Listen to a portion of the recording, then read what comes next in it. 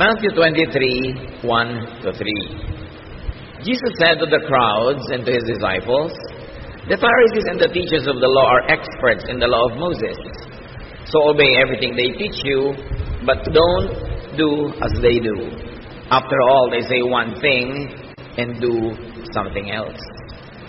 Napakalinaw po ng mga sunod-sunod na ito na katuroan ng Panginoon, ipinapakita niya yung mga kawalang kabuluhan ng pagsunod sa maraming mga itinuturo ng mga religious leaders nung kanyang panahon. The dominant religious leaders, according to Jesus, did not walk their talk. Sabi ni Jesus, listen only to the content of their teachings. Do not imitate their behavior. Matthew 23 verse 4. They pile up burdens on people's shoulders and won't lift a finger to help.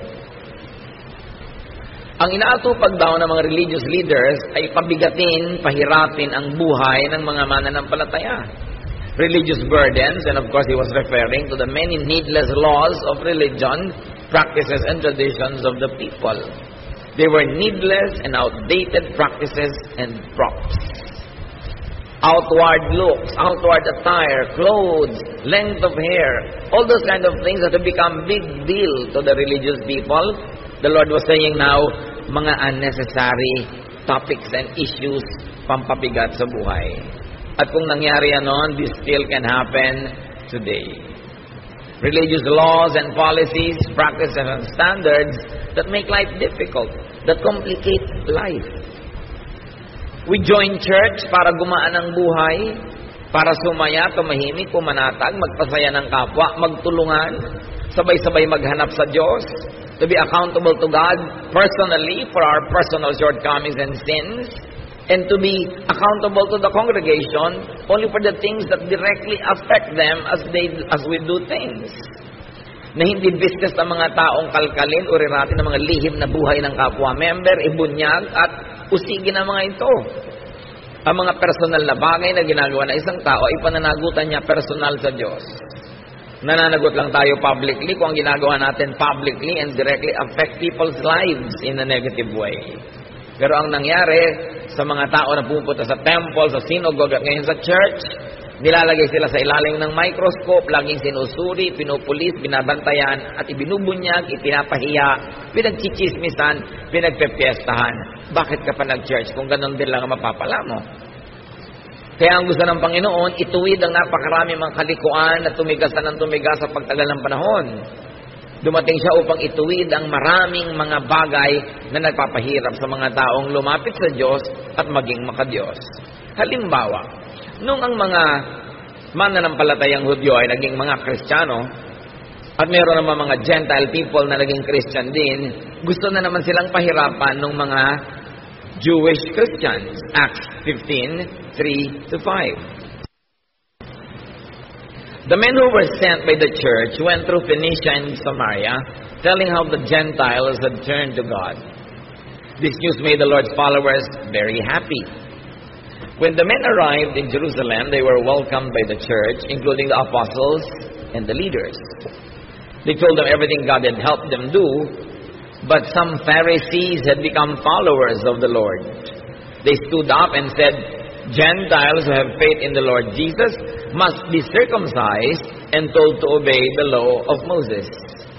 So yung mga Pharisees na dating mga sobrang religyoso nagpapahirap sa kapwa nila Jew, naging mga Christian yung iba.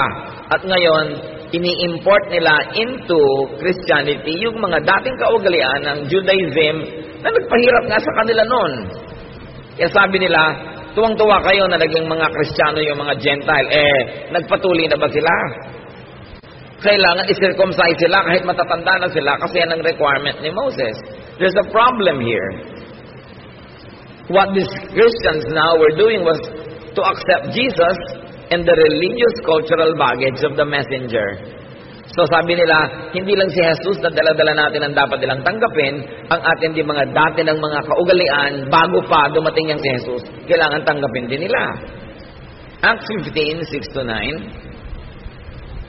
The apostles and church leaders met to discuss this problem about Gentiles. They had talked it over for a long time when Peter got up and said, My friends, you know that God decided long ago to let me be the one from your group to preach the good news to the Gentiles. God did this so that they would hear and obey Him. He knows what's in everyone's heart. And He showed that He had chosen the Gentiles when He gave them the Holy Spirit, just as He had given His Spirit to us. God treated them in the same way that He treated us. They put their faith in Him, and He made their hearts pure.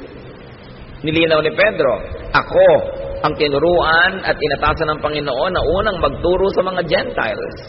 At nakita natin, nasaksihan ko at sinabi ko na sa inyo kung paano tayo minahal ng Diyos, ganun din lang minahal ng mga Gentiles. Yung binigay sa atin na speaking in tongues, binigay din sa kanila. Yung baptism of the Holy Spirit, binigay din sa kanila. So, ginawa ng Panginoon yon at dahil sa pananalig ng mga Gentiles na ito, ang puso nila inilinis. Anong naganap dito? Napakahalaga mga kapatid. They meet and discuss the matter because that matter was not covered by scripture nor by precedent. May naganap at nagaganap sa kanilang pananalig na hindi covered ng mga dati na nilang scriptures kasi walang ganong nangyari nung unang panahon. Gentiles becoming believers. So, wala silang mapagbabasihan na verse kung paano sila makikidil. So, nagmeeting sila at pinaandar nila ang kanilang God-given intelligence. Pinaandar nila yung principle of love, principle of acceptance ni Jesus. At nakaformulate sila kung anong dapat gawin dahil nga wala silang verse na pwede pagbasihan.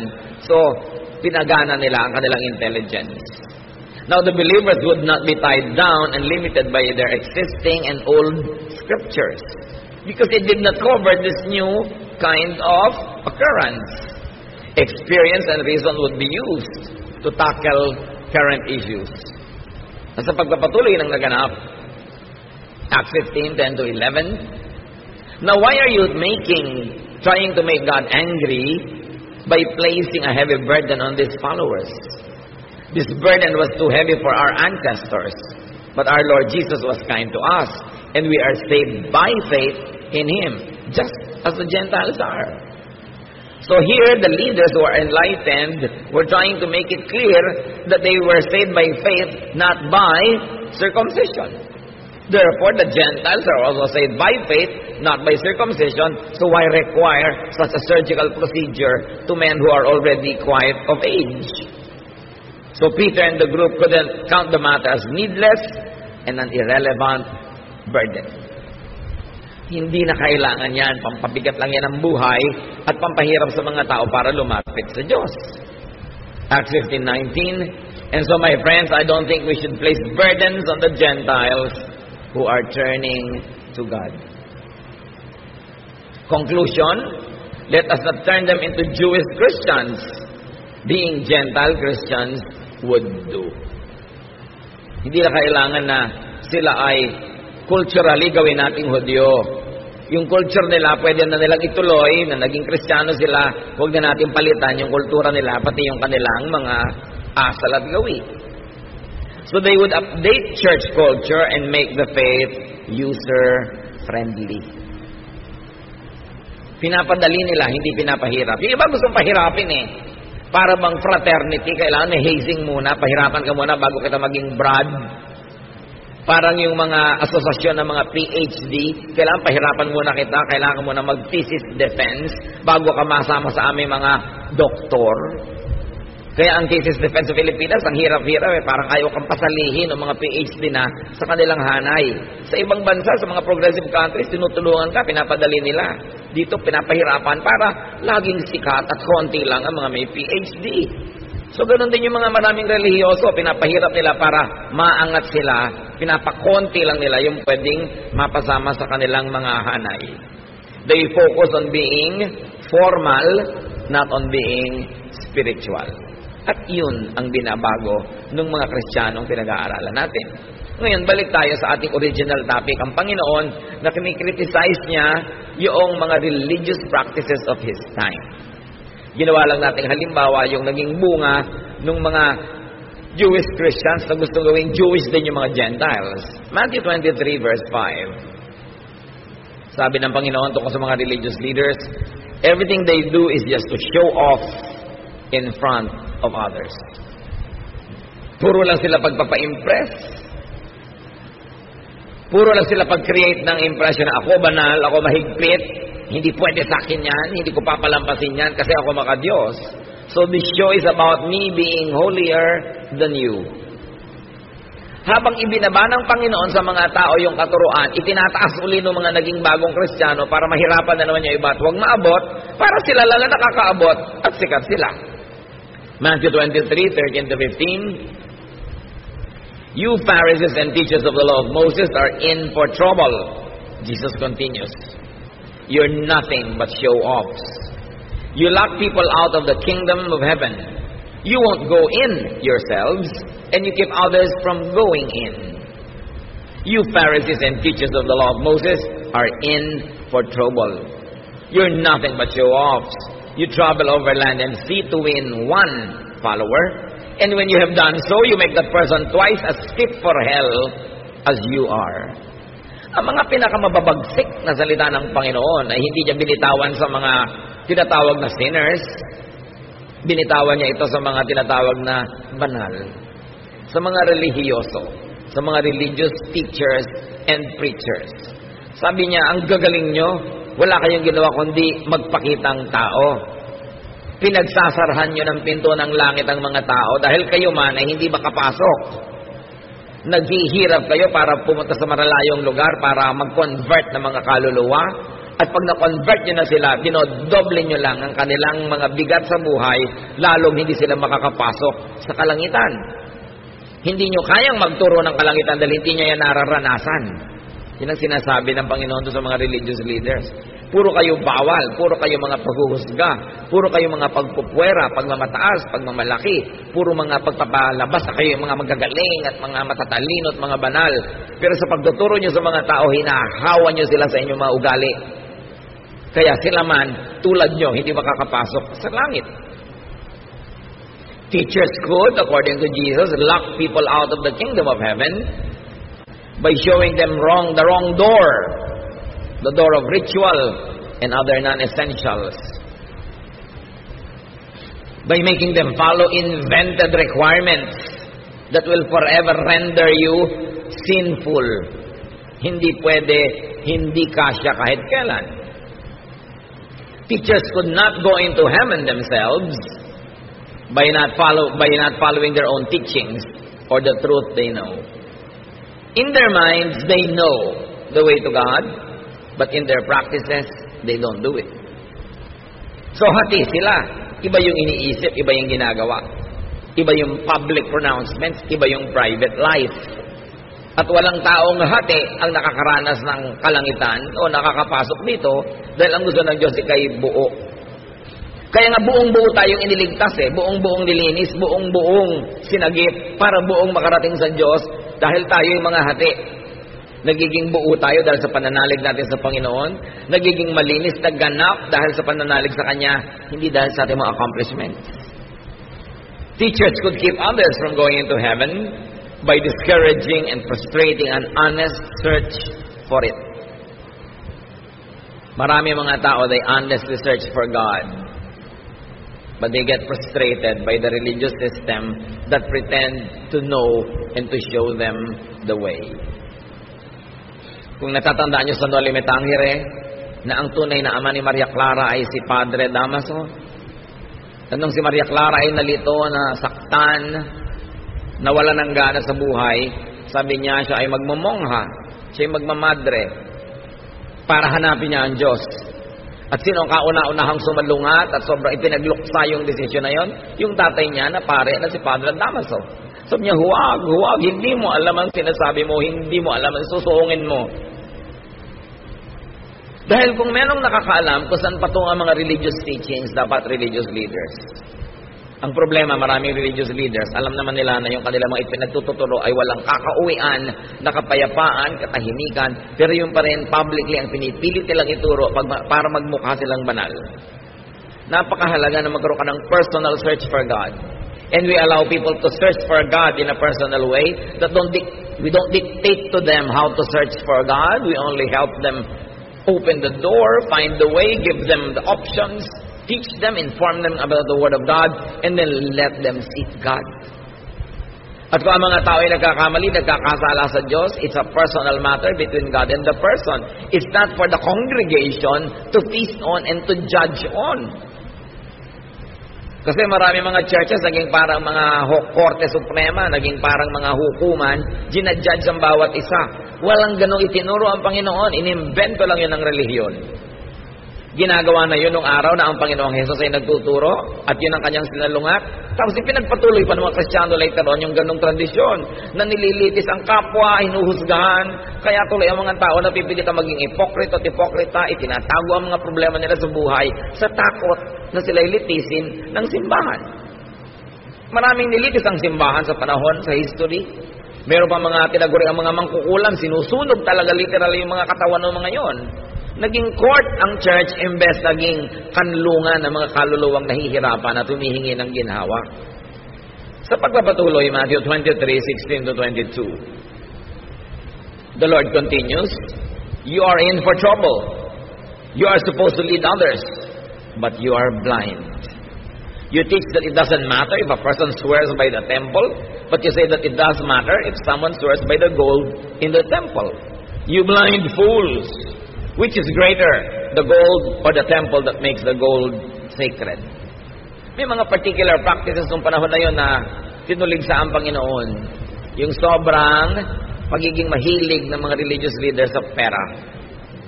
Love for money, power, and honor, misguided zealousness could blind religious teachers. Kaya ito ay tinuligsa ng Panginoon na huwag mong kikilingan yung tao dahil mas mayaman, dahil mas malaki yung donation. At yung mga religious leaders, huwag mag-agawan, magbangayan, agawan ng mga member mayaman, ng mga donor. Nung paman, kinikriticize sa'yo ng Panginoon. Kaya hanggang ngayon, challenge pa yan sa maraming mananampalataya. Matthew 23, 23 to 24. You Pharisees and teachers are show-offs, and you're in for trouble. You give a tenth of the spices from your garden, such as mint, dill, and cumin. Yet, you neglect the more important matters of the law, such as justice, mercy, and faithfulness. These are the important things you should have done, though you should have not left the others undone either. You blind leaders, you strain out a small fly, but swallow a camel. So, puro kayo pakitang tao. Sa mga nakikita ng tao na susukat, kahit na sa mga tithes and offerings, ang faithful nyo. At sabi ni Lord, dapat naman. Pero hindi lang yan ang mahalaga. Mahalaga yung katarungan, habag, pagiging matapat. Sabi, napaka mga bulag ninyo. Hindi nyo malulon ang kaprasong insekto, pero buong buo yung nilulunok ang mga kamelyo. Ibig sabihin, mga maliliit na mga kasalanan ng kapwa, minamalaki nyo, maliit na mga pagkukulang, kala mo kung ano na. Pero yung mas malalaki mga kasalanan, hindi nyo napapansin. Yung mga kasalanan ng yabang, judgmentalism, self-righteousness, pride, misguiding people, selfishness. You don't notice that. Wala kayong napapansin kundi yung babaeng adulterous. Wala kayong napapansin kundi yung mga taong kung nagko-commit ng mga sexual sin na parang sexual sin na lang ang kasalanan sa buong lupa at sa buong buhay. Ang dami pang iba. Pero ang pinanggigigilan nyo, yan lang. Sabing ganon. Ito to naman mga kapatid, sa kasaysayan ng church, hanggang dumating tayo sa present time, merong mga major denominations na talaga namang wala namang pinanggigilan kundi mga ibang mga uri ng pagkukulang ng kapwa pero hindi nila napapansin yung mas malalaking mga kasalanan. Yung panghihiya, yung pananakit ng kalooban, yung paglalayo ng loob ng mga tao sa Diyos dahil sobrang nilang pinoformalize sa mga bagay. Sabi ni Lord, maliit na insekto, hindi nyo malulon. Pero yung mga lalaking mga kamelyo, buong buo yung nalulunok. Sabi, you hypocrites, you are in for trouble. You are majors of minors, specialists of non-essentials. Ang laki-laking issue sa inyo, anong Bible version ang babasahin? May version pang kaisa-isang tama at lahat na ibang version hindi na. Saka naman nakakita ng ganun. E paano bago na imprenta yung version na yan? Di wala palang totoong Word of God. Sobra kayo nagmamalaki ng mga issue. Pinapalaki nyo ang loob, pinapayabang nyo ang inyong mga member na tayo ang tama, wala nang iba. Ang verse na binabasa natin ang tama, yung kanila wrong. Tayo lang ang saved, sila hindi. Tayo lang ang papakasalan ni Kristo, sila audience. Sabi, nil, binubulag nyo ang mga tao para maging mayabang na member ng inyong kongregasyon. na kami lang ang tama. Ang tingin tuloy sa iba, demonic. Ang tingin sa iba, mali. Nagiging pala, hiwalay tuloy at mga separatist. Flankers in major subjects like justice, mercy, and faithfulness. Pero ang gagaling magtalumpati, buhay na buhay pa hanggang ngayon ang mga tinutuligsa ng Panginoon noon. Dapat nating ibukas ang ating mata't isip at makita natin kung ito ay umiiral at nagaganap sa iba't ibang lugar at huwag tayong makisangkot, makisali at mag, makipag uh, tulungan sa ganito mga bata o na pahabain ang problema na noong pa man ay nilulutas na ng Panginoon. Self-righteousness, religious separatism, judgmentalism, pagbungkal at pag-ungkat sa mga lihim na buhay ng mga tao tulad ng babae who was caught in adultery. Alangan mang she was committing adultery in the streets. She probably was doing it in her own home, in her own house. And the people entered that house and dragged her out. Nung dinala sa Panginoon, gusto nilang batuhin. Hindi naman ipinabato ng Panginoon. Sabi lang niya, o sige, yun na lang perfect sa inyo, yung walang kasalanan, magsimula nang bumato. Although it was required by the law of Moses to kill that woman by stoning her. But the Lord said, di ba? Sabi ni Lord, I am the light of the world. Kaya ako dumating para tapunan ng liwanag yung mga mga religious baggage ninyo na nagpapata. Ginagawa kayong mga malulupit sa kapwa. Akala nyo kinakatuwa ng Diyos. Tuwang-tuwa kayo, ipinagbubunyi ninyo na pagpiestahan ng mga kasalanan ng iba para yung mga kasalanan nyo ang huwag matingnan. Binovolunteer nyo na lang na lahat magtinginan sa kasalanan ng iba. Sabi, hindi ganyan. And so nobody dared to stone that woman because nobody was qualified. Alam niyo ang ginawa ni Lord na qualification to judge? Perfection. Sabi niya, o sige, sabi pala ng law of Moses, babatuhin ang babaeng makasalanan. Batuhin na, mauna na lang yung walang kasalanan. Wala naman nangahas because nobody was perfect. Mga kapatid, kung hindi kayo perfect, stop judging others. Kahit sa congregation, yung mga kasalanan lang ng church, brothers and sisters natin, na kailangang i-deal, yung kasalanan that directly and effectively and practically affect us. Halimbawa, treasurer ng church, itinakbo niya yung fund. It, affected tayo lahat. Dapat talaga i-deal yun. Pero anong pakialam niyo kung sinong ka-date niya kahapon? That's between her and God. No? Anong pakialam niyo kung anong nakaraan niya? That's already charged on the cross. Anong pakialam natin sa private lives ng mga tao hanggat hindi tayo directly affected in a practical way? Yan ay tinuturo ng Panginoon. Anong pakialam nyo dito sa babaeng ito? It's a, between her and God. Dahil kung talagang gusto ng Lord na papatayin yung babaeng yon at sundin yung batas ni Moses, eh ba't niya pinabato? At kung babatuhin din lang pala yung babae, ba't pa dumating ang Panginoon sa mundo para tayo iligtas? Para tayo patawarin at linisin? Hindi lang tayo inililigtas sa impyerno at sa mga impakto. Inililigtas din tayo sa mga relihiyosong sobrang makialam sa buhay ng kapwa na gusto nilang parasahan yung mga taong gumagawa ng mga private sins. Kung gusto mo maging banal, magpakabanal ka. That's good. That's best. That's commendable.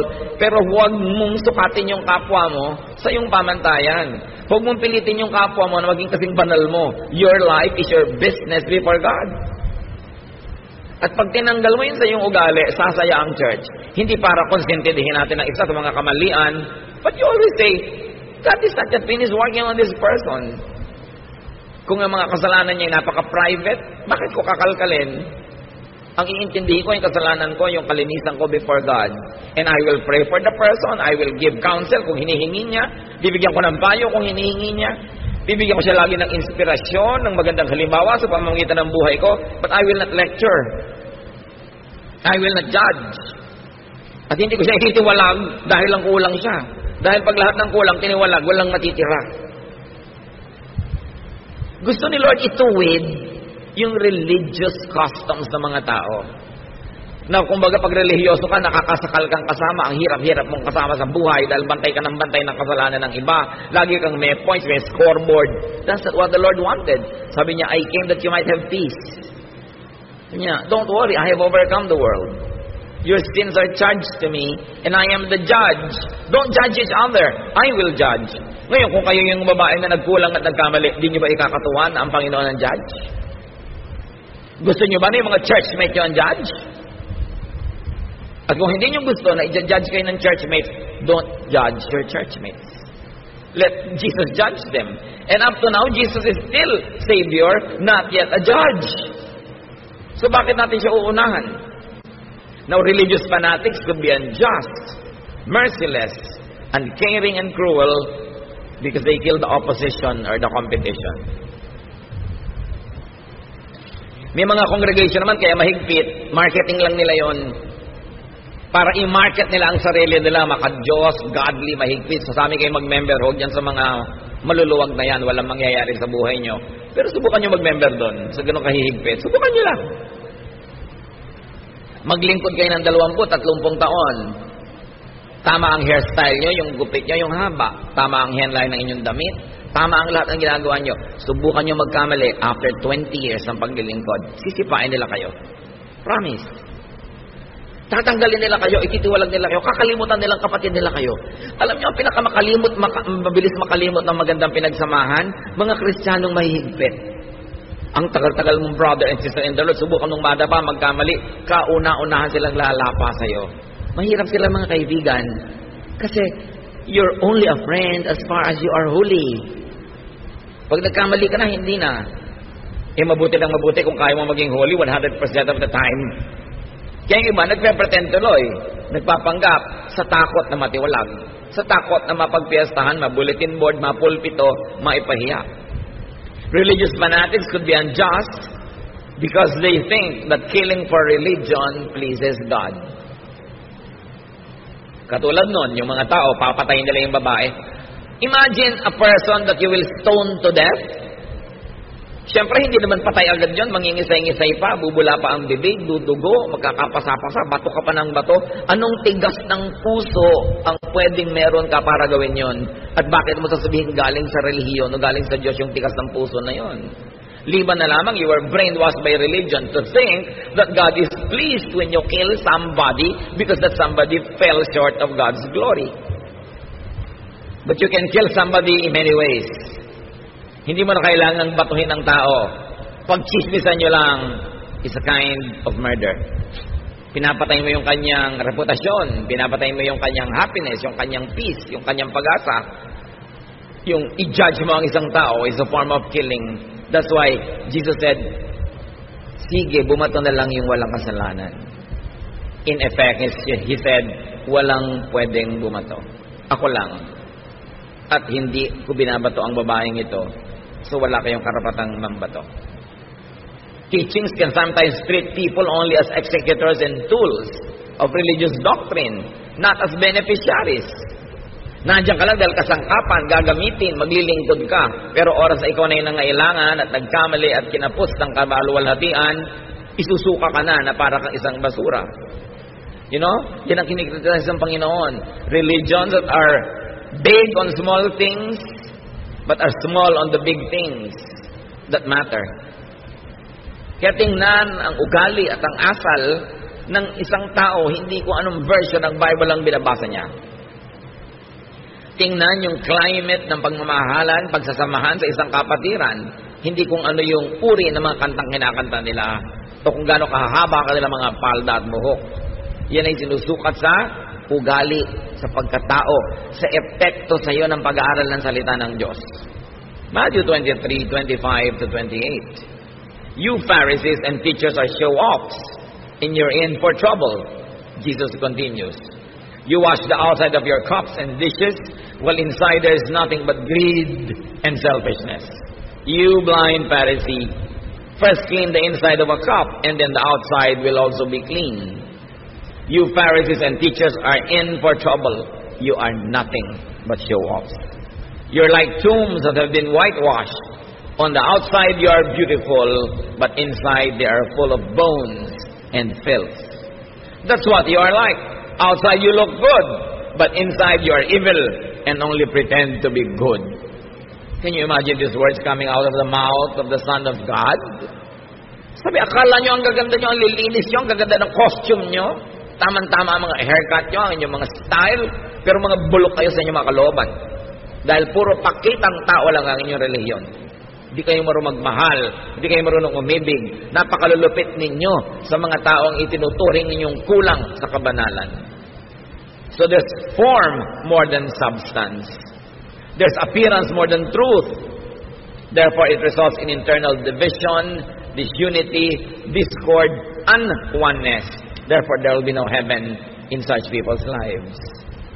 Kawawa ang mga tao na nadadala, nahihikayat at sumasanib o kaya umaanib sa mga relihiyong hindi mapagkandili, hindi maibigin, judgmental, at mga self-righteous. Kasi buong buhay, habang nandun ka sa ganong kongregasyon, ang pakiramdam mo nakatungtong ka sa dulo ng sibat, denumero ang lahat ng kilos mo at lahat may score. At pag nagkulang ka na, sorry ka na lang, no matter if you're 30 years na nandun. Matthew 23, 29 to 33, You Pharisees and teachers are nothing but show-offs, and you're in for trouble. You build monuments for the prophets and decorate the tombs of good people, and you claim that you would not have taken part with your ancestors in killing the prophets.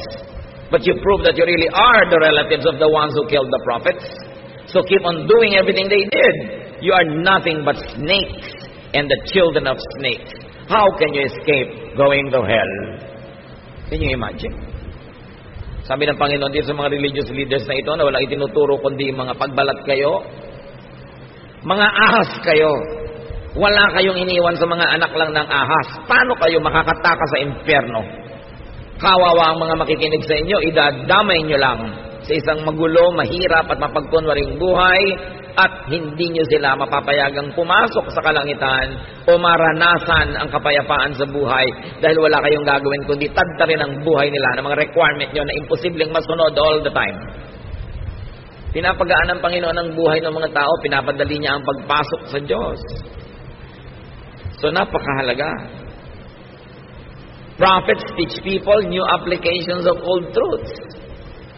Sabi, you kill the prophets. Sasabihin niyo pa ngayon, kung nabuhay kayo noong unang panahon, hindi kayo sasama sa pagpatay sa mga propeta ng Israel. Pero sabi niya, sa asal niyo, halatang halata, mga apo kayo, no, mga pumatay sa mga propeta. Kasi pareho kayo ng ugali. Alam niyo po, napakaraming propeta sa Israel, pinatay ng mga Israelites sa isang malagim na mga paraan. Sari-saring mga pahirap ang inabot ng mga propeta. Akala niyo ba laging iginalang ang mga propeta? Pinapatay ng taong bayan sa pangunguna ng religious leaders. Why? Because prophets teach the people new applications of old truths.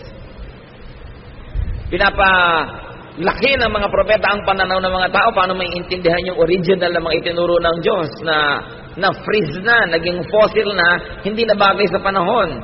So binibigyan ng mga propeta ng mga bagong reading, mga bagong interpretation para ang tao lumaya, hindi para ikulong ang tao, para padaliin ang buhay, hindi para pahirapin, at natetreten yung mga religious leaders dahil yung mga prophet, baka pakinggan ng mga tao, bumaba ang kita ng templo, bumaba ang kita ng mga synagogues, kaya pinapatay nila yung mga prophets.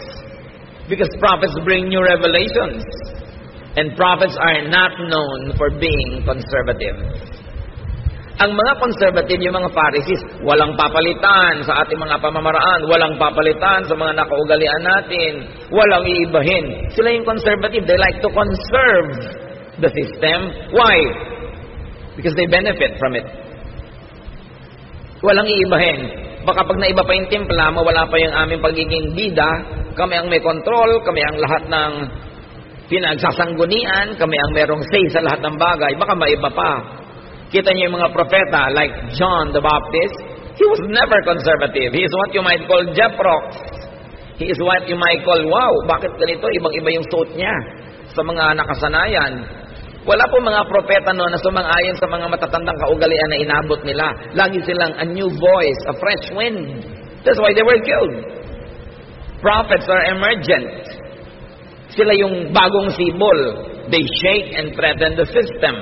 They are not keepers of the dominant system.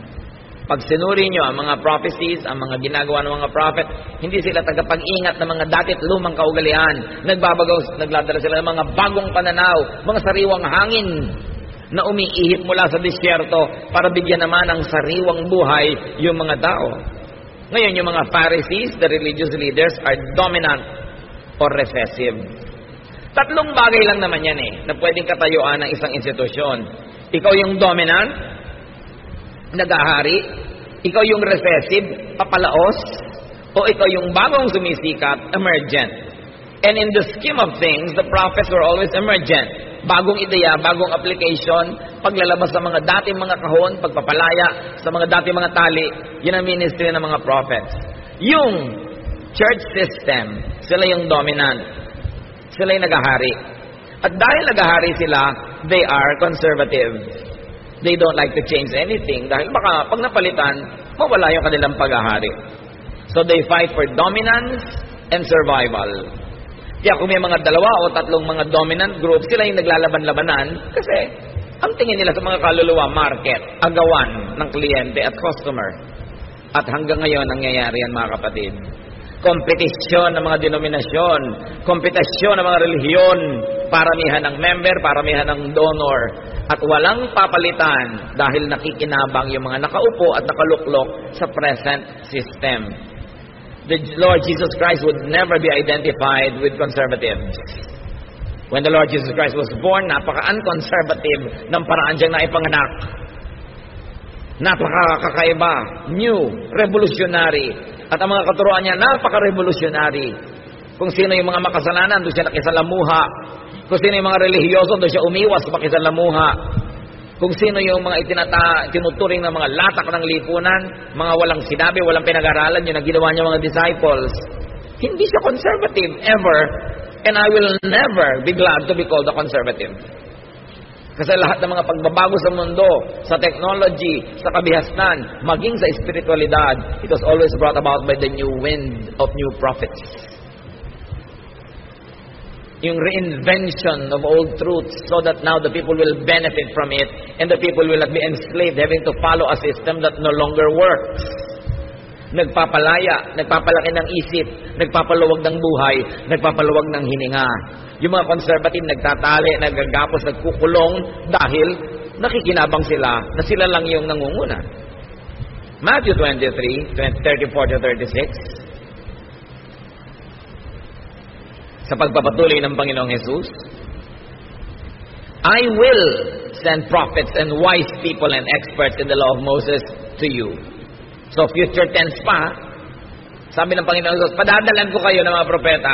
Padadalan ko kayo ng mga matatalinong tao, yung mga tunay na magpapalaya sa inyo. But you will kill them. Or nail them to a cross, or beat them in your meeting places, or chase them from town to town. That's why you will be held guilty for the murder of every good person.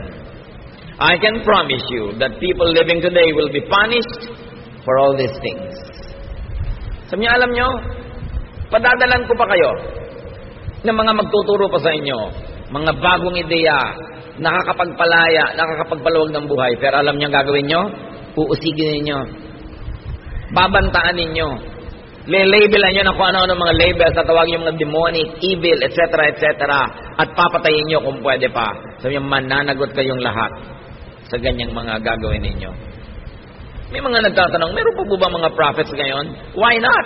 Sabi nga ni Lord, I will send pa eh, future tense pa. Those who insist na wala na, they only probably want to control your thought para sa kanila na lang kayo makinig at hindi na sa iba pa. Pero siyempre, kung meron mang ipapadalang mga totoo, lalo namang maraming ipinapadala si Taning ng mga false, kaya dapat sinusuri. Sabi ni Lord, you will know them by their fruits. Tingnan niyo bunga. Ano ba yung tunay na bunga ng isang guro? Hindi lang yung nangyayari sa buhay niya, mga kapatid ha. Yung nangyayari sa buhay niyo dahil nakikinig kayo sa kanya. Yun ang bunga. Lumuluwag ba yung buhay niyo? Nagiging mas mahal niyo ba ang Diyos? Mahal niyo ang inyong kapwa? Mas nakakalaya ba kayo? Pero hindi kayo kinukonsente sa kamalian? Pero hindi naman kayo hinuhusgahan? Hindi kayo binapahiya, binubulgar? Ano nangyayari sa buhay niyo? Kayo ang bunga. Kaya kayong makakalam, good teacher ba? Good church ba? Good congregation ba? Tingnan mo sarili mo, anong nangyari sa akin mula nung nakinig ako dyan? Yun ang bunga. Hindi yung, ay, ang ganda ng bunga niya kasi tama ang gupit, maigsi ang buhok, malinis ang kuko, laging ganito ang suot. Hindi bunga yun, costume yun. Ang bunga is, how are you affected by the teaching? Because you are the fruit. So ang tanong, may mga Pharisees pa ba ngayon? Natural, marami. At ayaw nila sa mga false prophets. And listen, ayaw din nila sa genuine prophets. Kasi gusto nila, sila lang ang papakinggan. Sila lang ang hinirang ng Panginoon. Ang version lang nila ng Bible ang tama. Ang teaching lang nila ang totoo. Ang church lang nila ang you honor ni Lord. Maniniwala pa ba kayo sa mga panahon na ito sa ganyan mga kagilagilalas na kasinungalingan? Marketing yan. Gusto nila, sila lang ang ligtas, sila lang ang totoo, sila lang ang tama. Be careful with people that say sila lang ang tama at ligtas at wala nang iba. Yan ang talagang mark, pinakamalaking mark ng kulto. Yung solohin mo ang Diyos, sa'yo lang sila, wala na sa iba. Tatakutin mo yung member mo, kahit ah, gusto mo silang umalis, pag umalis ka sa amin, matatagal ang kaligtasan mo. Hello? Dapat mag-isip na ang mga tao. Tapos na ang panahon ng kamangmangan. Ang Biblia ay nababasa na ng lahat ng tao. Napakarami na nating pwedeng malaman kahit na hindi ka mag-Bible school sa mga internet. Although, hindi mo papaniwalaan lahat na babasa mo. Dahil kahit mga sinungaling, nakakapag-post doon. Pero marami ng accessible knowledge, hindi na solo ng mga experts. Kaya ang tao ngayon hindi na mangmang. Hindi na pwedeng dinadaya-daya dahil ang tao marunong mag-isip para sa sarili. At panahon naman para gawin na yon. Dapat ang tao marunong mag-isip para sa sarili. Matthew 23, 37 to 39. Jerusalem, Jerusalem, your people have killed the prophets and have stoned the messengers who were sent to you. I have often wanted to gather your people as a hen gathers her chicks under her wings, but you wouldn't let me. And now your temple will be deserted. You won't see me again until you say, Blessed is the one who comes in the name of the Lord. Sabi Lord, naku Jerusalem, napakarami mong pinatay na prophet. Napakarami mong binato ng mga lingkod ko na ipinapadala sa iyo. Hindi ko malaman kung mga iba kung bakit sobrang napalaking big fans ng Jerusalem. Samantalang si Lord mismo nagsasabi, Jerusalem, napakarami mong kasalanan. Napakarami mong pinatay na matutuwid na tao. At hindi ba, si Jesus na nga ang kauna-unahang ipinako doon. Yung iba naman parang sobrang nagpapatira pa sa paanan ng mga Hudyo. Na akala mo yung mga Hudyo ang mga anghel sa langit. Pare-pareho lang nila tayong tao, pare-pareho lang tayong mahal ng Diyos, pare-pareho lang tayong ililigtas ng Panginoon. At hindi ka dapat nagpapatira pa sa lahi dahil lang yun ang lahi niya, dahil siya ay Jew, dahil siya taga-Israel. Sabi nga ng Panginoon, naku, napakarami mong pinatay Jerusalem. Napakarami mong atraso sa langit. Ang dami mo yung iniligaw. Hindi naman natin siyempre magkakaroon tayo ng negative feelings sa mga taga roon, pero huwag ka namang magpa-atsoy at magpa-atsoy sa kanila dahil lang Diyos sila. Pare-pareho tayong anak ng Diyos at iniligtas ng dugo ni Kristo. Dapat may dignity ka rin sa iyong racial uh, identity. Hindi talaga mo isinusuko dahil taga-Israel ito, taga-Israel yun. Mahal ng Diyos ang lahat ng tao. At sino man ang susamba sa Kanya at maglilingkod ay mamahalin niya. Sabi nga ng isang propeta, kahit yung mga bato, pwedeng gawin mga apo ni Abraham. Huwag niyo ipagyabang na mga Hudyo kayo. Kasi kung Hudyo nga kayo, hindi mo kayo sumasamba, baliwala yan. Mabuti pa yung Gentile. Ilagay natin ang lahat sa tama. Huwag tayo ngayon magpailan ng bagong religious colonialism may bago naman mga amo. Pagka taga-Israel, amo na natin agad. Dapat ang amo lang natin ang Diyos. At meron tayong dignity, pagmamahal maging sa ating racial identity. Hindi agad-agad mo sinusuko. Now, today's new prophets teach new applications of old truths. And they update the faith. And they update the church. Today's parishes, the establishment, will resist change. They will take shelter in conservatism. Conservatism is the defense and offense of the dominant and the recessive.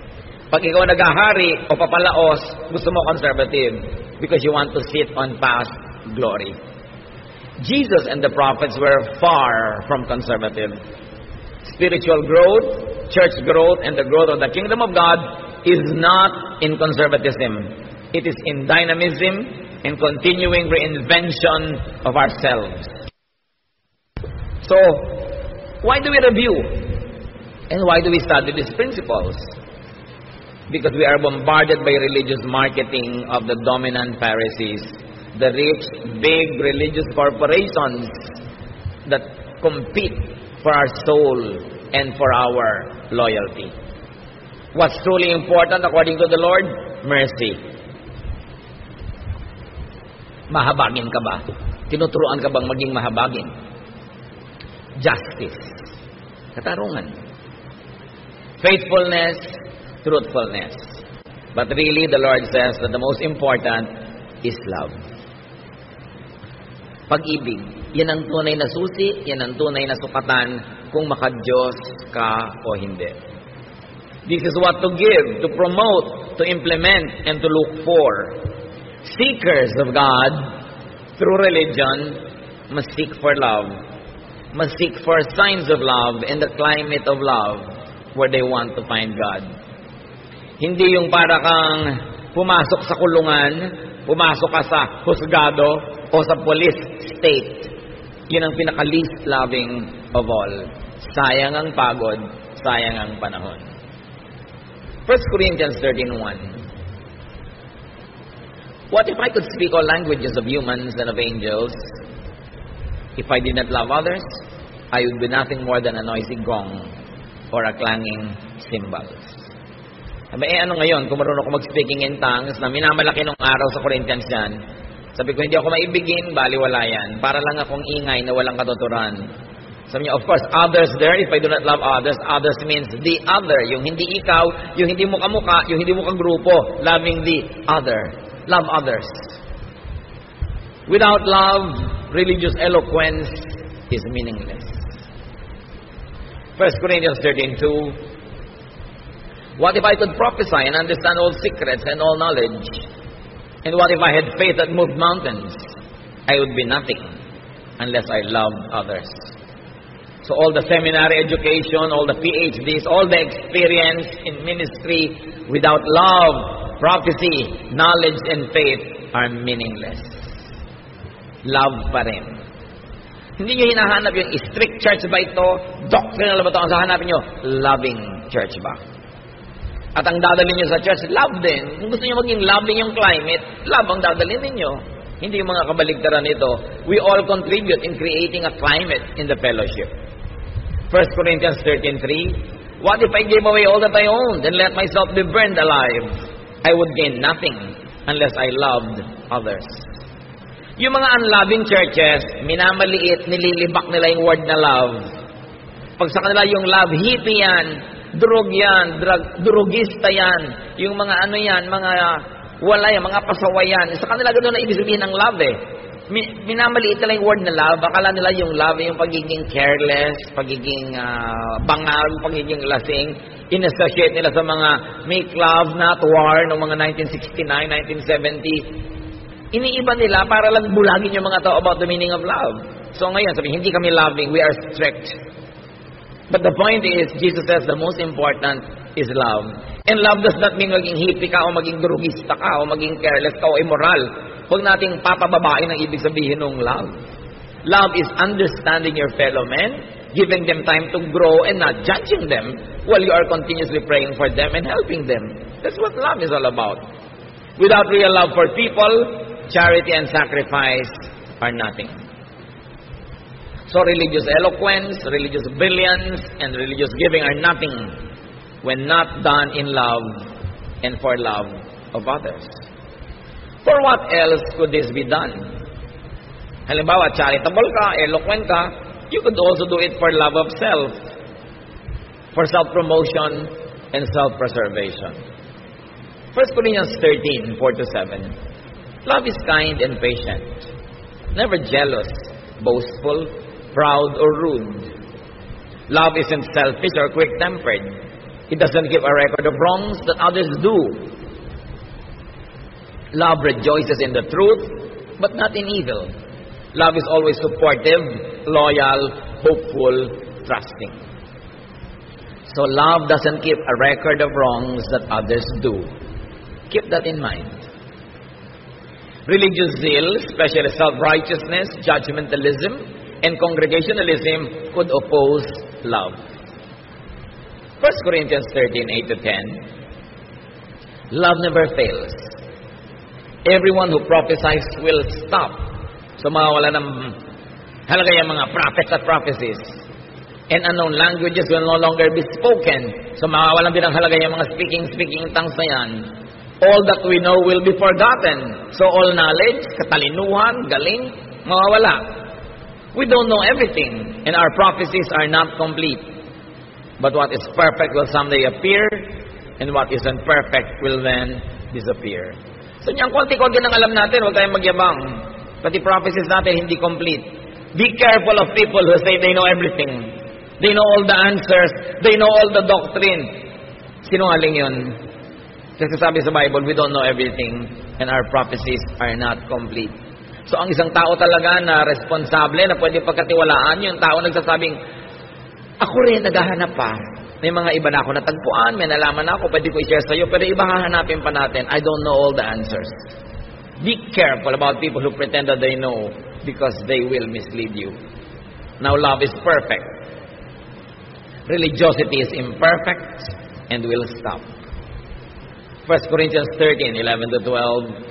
When we were children, we thought and reasoned as children do. But when we grew up, we quit our childish ways. Now all we can see of God is like a cloudy picture in a mirror. Later we will see Him face to face. We don't know everything, but then we will, just as God completely understands us. So yan mga bata pa tayo, especially bata ka pa sa pananalig, bata ka pa sa spirito, isip bata ka, pero dapat dumarating yung time na nagmamature ka. At ang nagmamature naman, hindi ibig sabihin na nalalaman mo lahat. Nalalaman mo lang na hindi mo alam lahat. Yun ang ibig sabihin ng maturity. Therefore, you become more careful, you become more humble, and less self-assuming.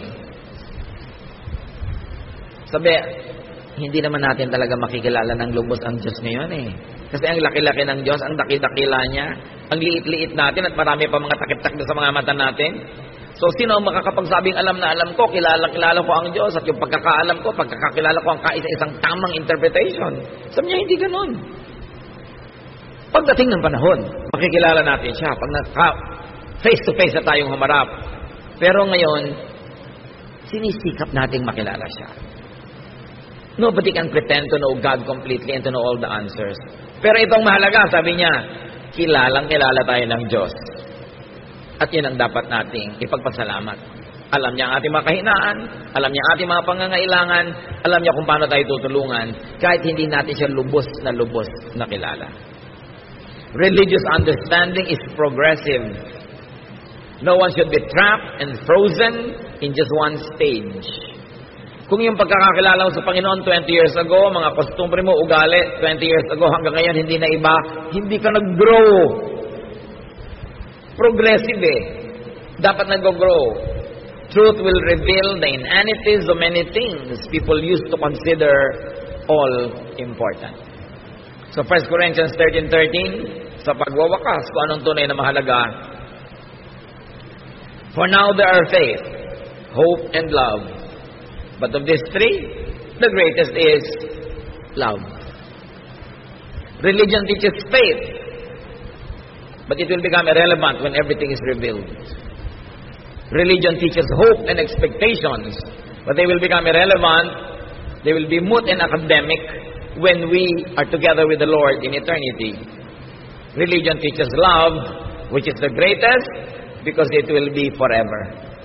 Yun ang patuloy at impact, yun ang lalo pang lalago pagka humarap na tayo sa Panginoon at magkakasama na tayo sa kabilang buhay. Why is it the greatest? Because God is love. If you're going to be known for anything, be known for godly love. And if you're going to look for anything important in a fellowship, in a group, look for love. In your family, in your circle of friends, promote love. Be part of those people that make love alive and make love, make life a little bit more loving. Bring religiosity and spirituality to the next level, and that is love. Alam niyo na yung Bible, matagal na, alam niyo na yung mga doctrine, ito na lang, loving ba tayo? At kung loving tayo, salamat sa Diyos, pero let's keep on loving more because God is love. Ama namin, salamat. Salamat na lang dahil ganun kayo, ganun dapat yung church. So kaming mga laging nagkukulang, kaming mga hindi perfect. Kaming may mga kapintasan, merong pwedeng silungan, puntahan, at pwede kaming umasa na kami kakalingain, mamahalin, iibigin, bagamat hindi ko konsentihin. Pero patuloy na ipapanalangin, patuloy na tuturuan, i-encourage, at kahit kailan, we will not be rejected. Teach us this brand of love. And help us, O Lord, to make this love the climate, the flavor of our lives.